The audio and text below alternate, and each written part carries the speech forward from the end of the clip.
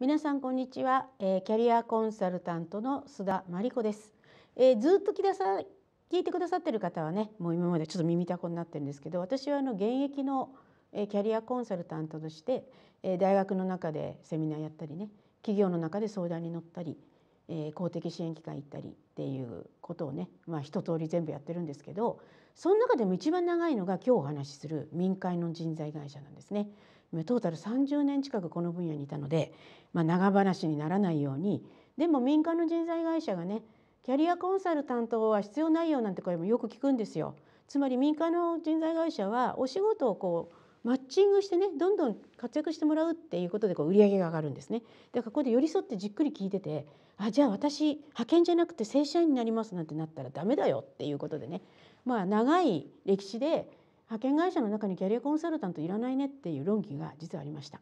ところが昨今ですね派遣法も変わりましたしねまあ、人をちゃんと育成してちゃんとお仕事を適材適所に出していくっていうことが人材会社が成長するゆえになったのでね、まあ、最近はその辺が変わっているっていう話をねしていきたいと思います。まあ、この YouTube ではいろんなことをねやってるんですね。えー、今まではこう企業の話やねハローワークの話もしたんですけど今日は民間の人材紹介会社これは正社員の紹介をする。そして派遣会社。これは派遣会社に登録をしてもらってえー、お仕事派遣先でお仕事してもらうっていう仕組みですね。そこでキャリアコンサルタントがどんなふうにやってるのかっていう話です。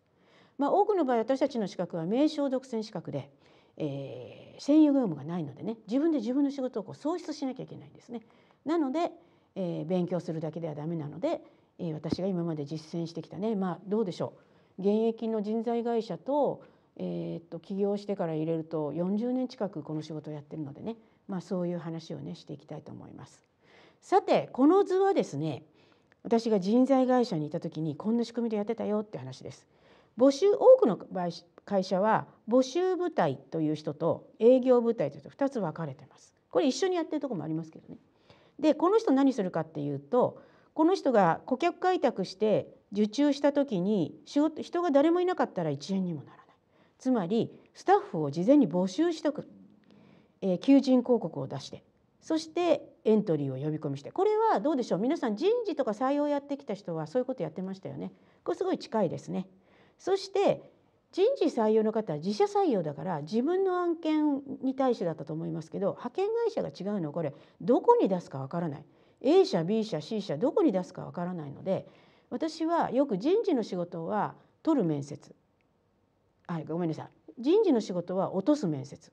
派遣会社の仕事は取る面接っていうんですね。つまり人事は我が社に合わない人は誰っていうところを見るかもしれませんけど私たち派遣会社の人間はねあのどこに使うかからない。いいとこ見てあげてねいろいろ。そしてその人たちをこう登録をしてもらってねこう管理をする。データベースに入れる。そういうことをですね一連にやる、まあ、そのためにこの人がどういう人かっていうのをちゃんと把握しないとねミスマッチが起きるんですね。スキルオーバーつまりこの人の方が力が高いっていうことだとこの人飽きちゃってすぐ辞めちゃうんです。スキルがちょっと低いこれも困るんですね。つまり登録の時にスキルチェックをしてね。で面接をして。これがまあキャリアコンサルティングですかね。今まで何やってきたの？これからどうしたいの？っていう話をしてマッチングをするっていう。このここをですね業界はコーディネーターなんて読みます。コーディネーターの人が最近ですねいろいろなこうインタビューをただするんじゃなくてね何してきたのってそんなの AI でもいいじゃないですか。人がやるんですから未来の可能性を見た方がいいですよね。でここをキャリアコンサルティングをやるっていうことがね出てるわけです。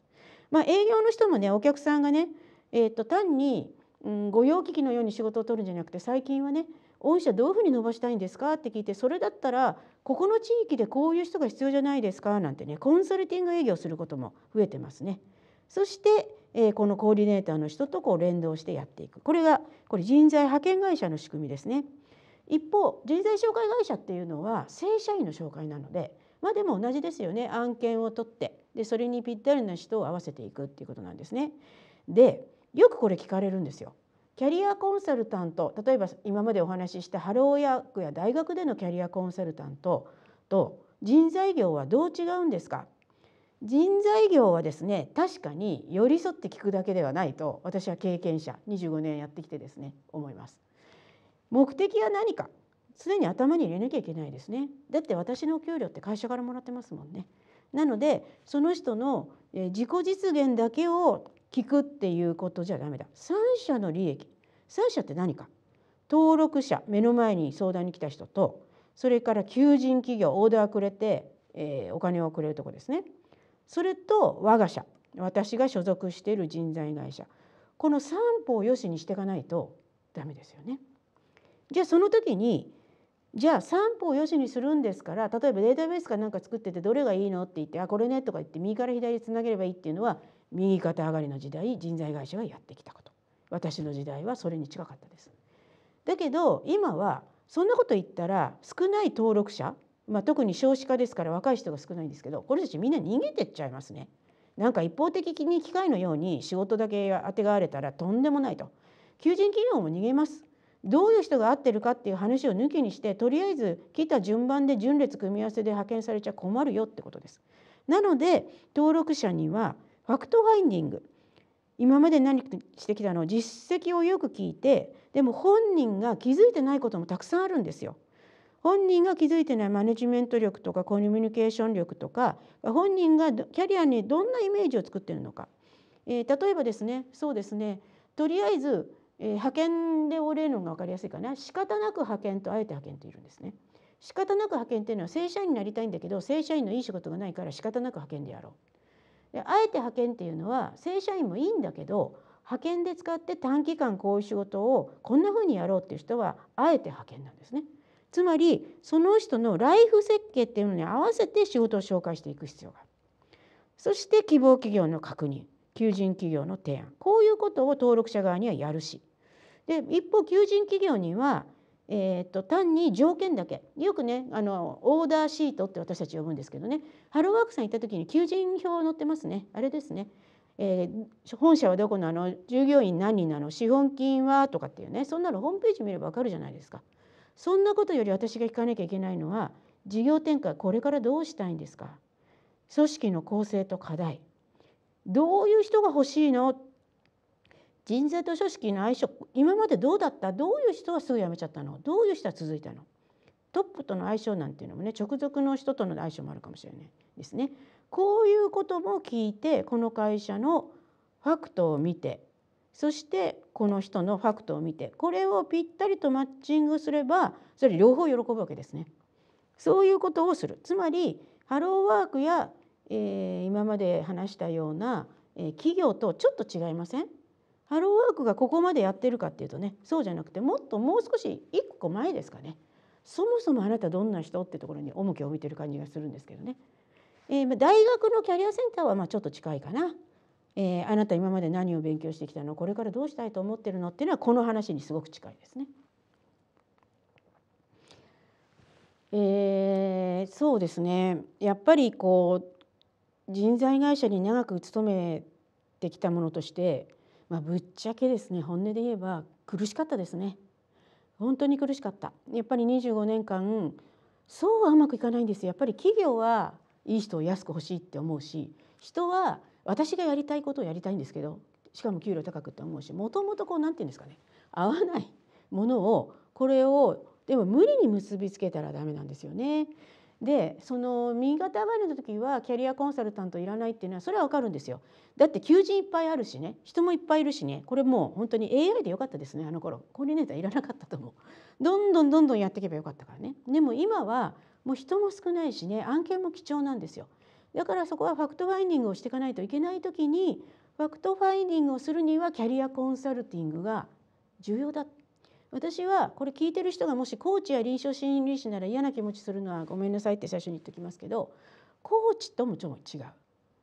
臨床のカウンセリングとも違う。やっぱり過去も見るけれどもやっぱり未来を見据えてここをこうつなげていくっていうのが私たちがやっていたことなんですね。まあ、人材会社を辞めてですねしばらくですね仕事がない時にね、まあ、派遣会社の人って無理やりマッチングするから嫌だとかってよくお客さんのことで言われたんですけど確かにそういう癖がいっぱいついてたんですね。でもねやっぱり市場のことをよく知っている。つまり求人企業が実はどういう人を求めてるか。これはキャリアコンサルタントが自己実現の相談に乗る時にも必要なことでこのことは本に書いてないから。だから人材会社の人がもし見てたらねもう大いに私たち仕事ありますよ。今まで人材会社で求人企業とそれからスタッフ人をつないできたじゃないですか。でもう辞めたいとかいろいろ言われてやってきましたよね。それを今度一つの企業の中でお金もらってやるっていうのが企業分野のキャリアコンサルタントだから。だからえー、ぜひ人材会社の経験者も。で経験してなくてもいいですよ。人事やってたとか営業やってたっていう人もねリソースを生かせる仕事なのでね。えっ、ー、とあれですね経験者なのですいませんちょっとばかしここは熱がこもってしまいましたね、まあ、普通に戻して最後は終わりたいと思います。えー、次回はですね、えー、最近これも多いんです社労士さんとか診断士さんとか IT コーディネーターの人がねこうダブルライセンスでキャリコンを取ってねもっと売り上げ上げようとされているその事例をねちょっとお話ししていきたいと思います。それでは今日のお話はここまでにしたいと思います。聞いてくださってありがとうございました。